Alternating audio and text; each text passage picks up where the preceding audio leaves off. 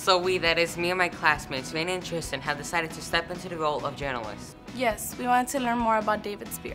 How he got his name on his own building, and what did he do along the way? People always tell kids that life is like an open road. Where you can forge your own path. Build on your own vacant city lot. Right, but that's intimidating. Where do you start? Somebody has to make an app for that. Maybe call it, What Do You Do With Your Life? So we thought David Speer was a kid, right? How did he make his choices? Forge his own path. Build on his own vacant city lot. Where did he start? Oh, Canada.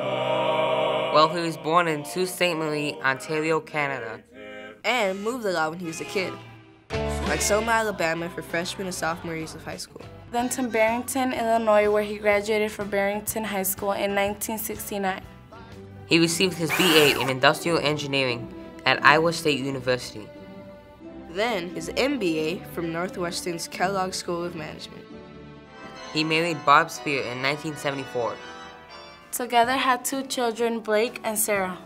We got a chance to talk to David's son, Blake, and his wife, Melanie, about what it was like growing up with a dad like Mr. Speer. First time I came to Chicago, Blake brought me home to meet his parents, and I mean, it really must have been because he knew how warm they were and how loving and caring they both were. He and she was Canadian too. Yeah, so that, that, that, helped, right? that helped.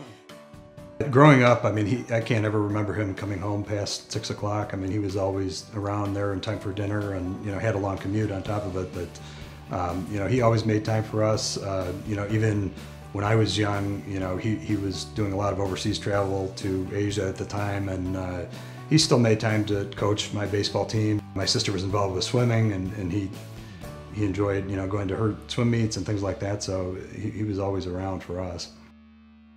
Born in Canada, moved to Alabama, and graduated from Iowa. That's a pretty complex growing up. I have lived in the same place my whole life. It's not like he chose to move around, but it seems like he made the best of it. And if you look at this, it seems like his path became pretty clear when he joined ITW. Mr. Speer joined ITW in 1978. ITW is a global company that makes everything from six-pack rings on soda bottles to gas caps on automobiles. 50,000 employees working in 57 countries. Mr. Speer first worked in sales and marketing for the construction products business. He later became general manager, group vice president, and then executive vice president for construction. By 2004, he was elected president of ITW and then became CEO and chairman of the company the following two years. By 2010, Mr. Speer had led ITW to $15.5 billion in revenue, with half of that from outside the U.S. Mr. Speer moved up in the company through hard work and dedication. So that's the pathway. You work really hard for 30 years for a really good company and you become CEO. Pop, you get a building named after you. Well, I better get started. 30 years is a long time. There's got to be more to it than that. Yes, when I talked to Mr. Jim Farrell, he said Mr. Speer had a few other qualities that made him a great leader. Like he loved the opportunity and the challenge to blaze a new trail. And that his ready smile and sense of humor created a great team environment for him to lead. There's also Mr. Speer's quote that's in our school. It's the values that you display in your life that will inspire others to follow, which means he valued and supported others. Right. Turns out he supported many organizations. I hope that this year we can count on your generous support. From United Way of Metro Chicago to the Museum of Science and Industry. And of course, Junior Achievement. He would always tell us to, to whom much is given, much is expected, and you know, it's important that you be ready to give back.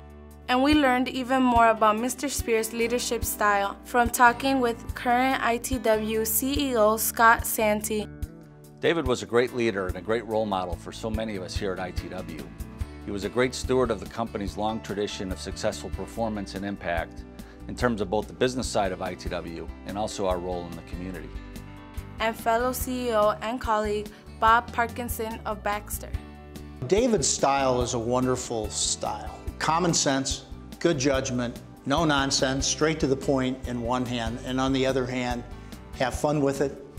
The ability to build trust and confidence in terms of representing himself and ITW in the community in so many ways. I'm not sure I can think of anyone who has been more engaged and sets a better example for others in that. You see, look at all that Mr. Speer did to give back. CEOs wearing costumes? Bowling, that looks like fun. He was so approachable, he was so authentic, uh, he treated everyone with respect and dignity, and he also had fun with everybody. And Mr. Speer, teaching in a classroom. He volunteered in the classroom? We checked into that. Talking to Brian Whalen, a teacher at Glenbrook South High School where Mr. Speer volunteered.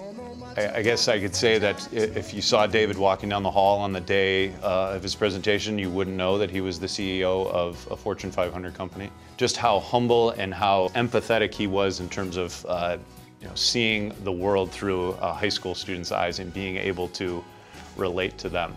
Mr. Speers seemed to be a big fan of junior achievement. He was vice chairman for JA of Chicago and volunteered in 11 different classrooms from 2006 to 2011. He didn't want uh, the attention. Uh, he didn't do this for the attention. Uh, he did it because he believed in it and to take time to come in to talk to a group of, of high school kids uh, says a lot about his, um, you know, his values, but also his dedication to uh, education and his dedication to, uh, to youth. I think I got as much, or I enjoyed uh, David's visit as much as the kids did. Oh, I think of all the things that David was involved in, and I've seen him in other venues. There's no doubt in my mind that his involvement in JA was special. And it was also a family affair, as Mrs. Speer, Blake, and Sarah were also in the classroom teaching JA programs to students. That's exactly what Blake said. Yeah, my, my sister was working there at the time, and, and my dad and my mom would both go out together and, and teach some of the classes, and, and they both got involved. And my dad obviously loved my mom, and it was a great opportunity for them to do something they both enjoyed and give back to the community at the same time. I just hope that our son can inherit just half of a, or a fraction of the good heart that David had. Just, that was the most important thing about him, I think. Well, learning about Mrs. Speer taught us a lot about the right way to approach life. The right way to forge a path. And to build on your empty lot. Yes, like the ITW David Speer Academy. Where we go to school. He also taught us a lot about being a CEO and a leader. It takes a lot of hard work, yes, but it's also about caring for the people and communities around you. We thank you, Mr. Speer. All, All of us. us.